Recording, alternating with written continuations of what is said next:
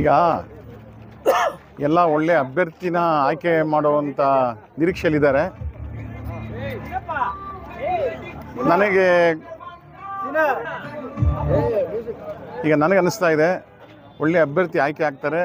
ನಾವೆಲ್ಲ ಸೇರಿ ಅವ್ರನ್ನ ಕಾಂಗ್ರೆಸ್ ಪರವಾಗಿ ಹೋರಾಟ ಮಾಡಿ ಗೆಲ್ಸ್ಕೋಬೇಕು. ಯಾಕಂದರೆ ಸಾಕಷ್ಟು ಕೆಲಸ ಕಾರ್ಯಗಳಾಗೋದಿದೆ. ಈಗ ಇಲ್ಲೇ ನೋಡಿದ್ವಿ ಸ್ಪೋರ್ಟ್ಸ್ ಇವೆಂಟಲ್ಲಿ ಇವತ್ತು. ಒಂದು ಸ್ಟೇಡಿಯಮು ಬುನಾದಿ ಹಾಕಿ ಒಂದು ಮಟ್ಟಕ್ಕೆ ತಂದಿದ್ದೀವಿ ಲ್ಯಾಂಡ್ ರೆವಿನ್ಯೂ ಡಿಪಾರ್ಟ್ಮೆಂಟಿಂದ ಲ್ಯಾಂಡ್ ಅಕ್ವಿಷನ್ಗೆ ಪ್ರೋಸೆಸ್ ಆಗಿದೆ. ಪಂಚಾಯತಿಗೆ ಬಂದಿದೆ. ನಮ್ಮ ಎಲ್ಲಪ್ಪನವರು ಪಂಚಾಯತಿ ಮೆಂಬರ್ ಹೇಳಿದ್ರು. ಪಂಚಾಯತಿಗೆ ಬಂದು ಅಲ್ಲಿಂದ ಕನ್ಕರೆನ್ಸ್ ಕೊಟ್ಟು ಅವ್ರು ಹ್ಯಾಂಡ್ ಓವರ್ ತೊಗೊತಾ ಇದ್ದಾರೆ ರೆವಿನ್ಯೂ ಡಿಪಾರ್ಟ್ಮೆಂಟರು ಅದಾದರೆ ಇಂಡೋರ್ ಔಟ್ಡೋರ್ ಸ್ಟೇಡಿಯಮ್ಮು ಸ್ಪೋರ್ಟ್ಸ್ ಭಾಳ ಅನುಕೂಲ ಆಗುತ್ತೆ. ಅದೊಂದೇ ಅಲ್ಲ, ನಮ್ಮಲ್ಲಿ ಅನೇಕ ಉಳಿದಿರೋ ಕೆಲಸಗಳು, ಕುಡಿಯೋ ನೀರಿಗೂ ಭಾವ ಅಭಾವ ಇದೆ. ಅದಕ್ಕೆ ಒಂದು ಶಾಶ್ವತವಾದ ಒಂದು ಕಾಮಗಾರಿ ಏನಾದರೂ ಮಾಡಿ ಕುಡಿಯೋ ನೀರಿಗೆ ಒಂದು ಅಣೆಕಟ್ಟೋ ಇಲ್ಲ ಕೃಷ್ಣಾ ನೀರನ್ನ ಡೈವರ್ಟ್ ಮಾಡೋ ಆಂಧ್ರದಿಂದ ಇವೆಲ್ಲ ಮಾಡೋದಿದೆ. ಅದಕ್ಕೆ ಒಬ್ಬ ಎಂ ಪಿ ಅವಶ್ಯಕತೆ ಇದೆ ನಮಗೆ. ಅವ್ರು ಬೇಕು. ರೈಲ್ವೇಸು ರೋಡ್ವೇಸು ಇಂಡಸ್ಟ್ರೀಸು ಅವಕ್ಕೆಲ್ಲ ಬರಬೇಕಾದ್ರೆ ಎಂ ಇವರು ಎಂ ಪಿ ಒಬ್ಬರು ಇರಲಿ ಇರಬೇಕು ನಮ್ಮ ಜೊತೆಗೆ.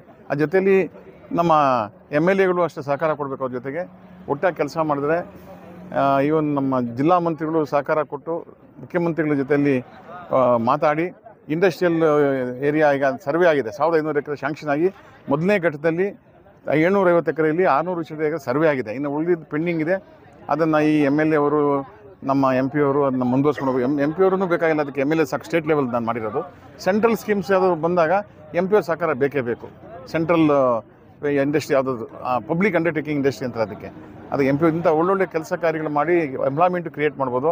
ಅದಕ್ಕೆ ಒಳ್ಳೆಯ ಅಭ್ಯರ್ಥಿ ಬರ್ತಾರೆ. ನನ್ನ ಹೆಸರು ಓಡಾಡ್ತಾ ಅಂತ ಹೇಳ್ತಾ ಇದ್ದಾರೆ ನಾನು ಸ್ವಲ್ಪ ಬ್ಯುಸಿ ಇದ್ದೀನಿ ಮನೆಯಲ್ಲಿ ನಮ್ಮ ಮಗನ ಮದುವೆ ಕಾರ್ಯಕ್ರಮದಲ್ಲಿ. ಇಪ್ಪತ್ನಾಲ್ಕುವರೆಗೂ ನಾನು ಸ್ವಲ್ಪ ಬ್ಯುಸಿ ಅದಾದ್ಮೇಲೆ ನಾನು ಫ್ರೀ ಆಗ್ತೀನಿ. ನೋಡೋಣ. ಒಳ್ಳೆಯವ್ರು ಬರಲಿ. ಆಯ್ಕೆ ಮಾಡೋದು ಜವಾಬ್ದಾರಿ ಜನಗಳದಷ್ಟೇ. ಮುಖ್ಯವಾಗಿ ಬಲಗೈ ಮೇಲೆ ಹೆಚ್ಚಿನ ಪ್ರಭಾವ ಬೀಳ್ತಾ ಇದೆ ಬಲಗೈ ಅಭ್ಯರ್ಥಿ ಬೇಕು ಅಂತ. ಬೆಳಗ್ಗೆನವರು ಸಂಖ್ಯೆ ಜಾಸ್ತಿ ಇರೋದ್ರಿಂದ ಅವರು ನ್ಯಾಯ ಅದು, ಸಾಮಾಜಿಕ ನ್ಯಾಯ. ಸೊ ಆ ಕ್ಯಾಂಡಿಡೇಟ್ ಕೊಡಿ ಅಂತ, ಯಾಕಂದರೆ ಒಂದು ಸಾವಿರದ ಒಂಬೈನೂರ ಒಂಬೈನೂರ ಐವತ್ತೆರಡನೇ ಇಸ್ವಿಯಿಂದ ಈಚೆ ಯಾ ಬಲಗೈನವ್ರು ಕೊಟ್ಟೇ ಇಲ್ಲ ರೈಟ್ನವ್ರಿಗೆ. ಅದು ಕಾಂಗ್ರೆಸ್ಸಲ್ಲಿ. ಅದು ಕೇಳೋದ್ರಲ್ಲಿ ಅರ್ಥ ಇದೆ.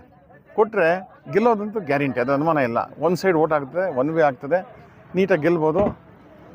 ನಮ್ಮ ರೂಲಿಂಗ್ ಗೌರ್ಮೆಂಟ್ ಇರೋದ್ರಿಂದ ಕಾಂಗ್ರೆಸ್ ಗೆದ್ದರೆ ಸ್ಟೇಟಲ್ಲಿ ಕೆಲಸಗಳು ಮಾಡಿಸ್ಬೋದು ರಾಜ್ಯ ಮಟ್ಟದಲ್ಲಿ ಕೆಲಸ ಆಗುತ್ತೆ ಅಲ್ಲಿ ರಾಷ್ಟ್ರ ಮಟ್ಟದಲ್ಲಿ ಆಮೇಲೆ ನೋಡೋಣ.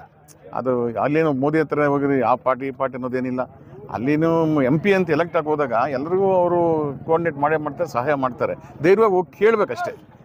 ಅಲ್ಲಿ ಯಾವುದೇ ಪಟ್ಟಿ ಇದಿರಲಿ ಯಾರೇ ಪ್ರಧಾನಮಂತ್ರಿ ಇರಲಿ ನಮ್ಮ ಪಕ್ಷದವರಿರಲಿ ಯಾವ ಪಕ್ಷದವರಿರಲಿ ಸರ್, ಹಿಂಗೆ ನಾನು ಎಂ ಪಿ ಫ್ರಮ್ ಕೋಲಾರ್, ನನಗೆ want this work to be done yes go ಅಂತಾರೆ. ಆ ಥರ ಯಾರಿಗೂ ಅದನ್ನು ಪಕ್ಷಪಾತ ಮಾಡಲ್ಲ. ದುಗ್ಗಬೇಕು ಮಾಡಿಸ್ಕೊಂಬರ್ಬೇಕು ಆ ಥರ ಒಳ್ಳೆ ಕ್ಯಾಂಡಿಡೇಟ್ ಬರಲಿ ಅಂತ ನಾನು ಬಾ ಅನ್ಸ್ಕೊಂಡಿದ್ದೀನಿ. ದೇವ್ರನ್ನ ಬೇಡ್ಕೊತೀನಿ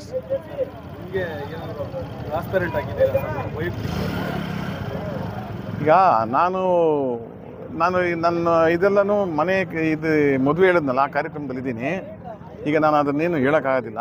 ಹೇಳೋ ಸಂದರ್ಭನಲ್ಲ ಇದು. ನಾನು ಹೇಳಬಾರ್ದು ಚುನಾವಣಾ ಪ್ರಚಾರದಲ್ಲಿ ಓಕೆ ಡೆಫಿನೆಟಾಗಿ. ಕಾಂಗ್ರೆಸ್ ಚು ಅಭ್ಯರ್ಥಿ ಯಾರೇ ಆಗಲಿ ಅವ್ರ ಪರವಾಗಿ ನಾವು ಹೈಯೆಸ್ಟ್ ವೋಟ್ಸು ನಮ್ಮ ಮುಳುಬಾಗಿಲನ್ನು ಕೊಡಿಸ್ತೀವಿ. ಬೇರೆ ಒಂದು ತಾಲೂಕುಗಳಲ್ಲೂ ಹೋಗಿ ನಾನು ನಾ ಅದರಲ್ಲೂ ಎಸ್ಪೆಷಲಿ ನಮ್ಮ ಜನಾಂಗದವ್ರಿಗೆ ಹೇಳಿ ಗೆಲ್ಲಿಸಿ ಅದು ಬಲಗೈನವ್ರು ಸಿಕ್ಕಿದ್ರೆ ಭಾಳ ಉತ್ತಮ. ಏನಾಗುತ್ತೆ ಬಟ್ ಯಾರೇ ಕ್ಯಾಂಡಿಡೇಟ್ ಆದರೂ ಗೆಲ್ಲಿಸೋ ಜವಾಬ್ದಾರಿ ನಮ್ಮದು ಆವಾಗ ನೋಡೋಣ ಜನಗಳ ಒಂದು ದೇವರ ಆಶೀರ್ವಾದ ಜನಗಳ ಆಶೀರ್ವಾದ ಮೇಲೆ ಹೋಗುತ್ತೆ ಅಷ್ಟೇ. ನನ್ನ ಕೈಲಿಲ್ಲ ಅದು. ಓಕೆ